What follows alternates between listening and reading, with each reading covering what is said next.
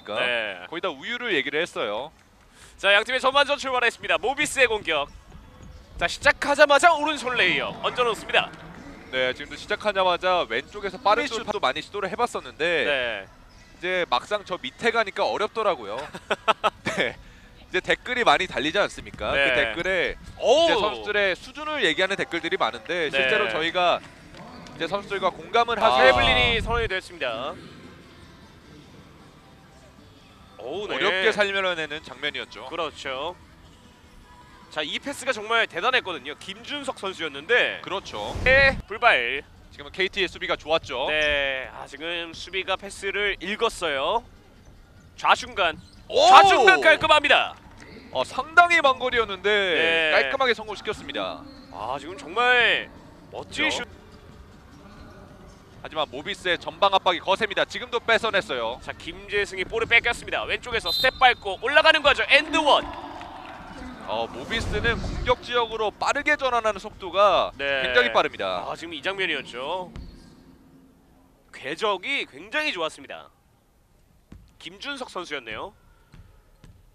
그리고 스틸 장면과 함께 추가 자유투까지. 어, 이 득점 장면은 아, 그건 더 옛날인데. 네. 제가 더 어리죠. 네. 자 패스 연결 이후에 catch and shot 깔끔합니다. 어, 오랜만에 KT의 득점이 나왔습니다. 네, 아, 이준호 선수의 미들슛 상당히 좋...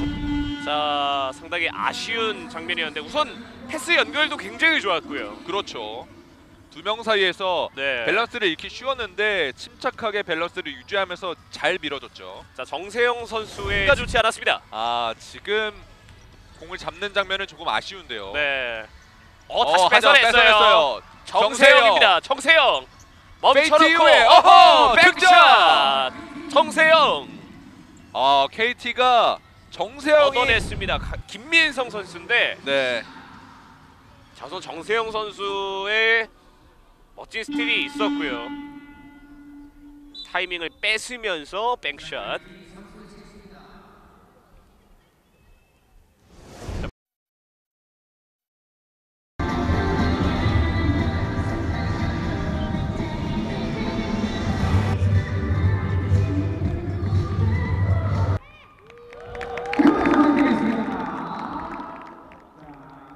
어, 볼을 조금 오. 놓쳤었는데요.